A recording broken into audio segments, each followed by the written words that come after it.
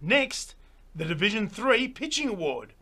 Our nominees are from Springvale, Joel Stubbs, from Springvale, Lucas Anderson, and from Springvale, Scott Bailey. And the winner is Lucas Anderson from Springvale Lions Baseball Club with an earned run average of .62.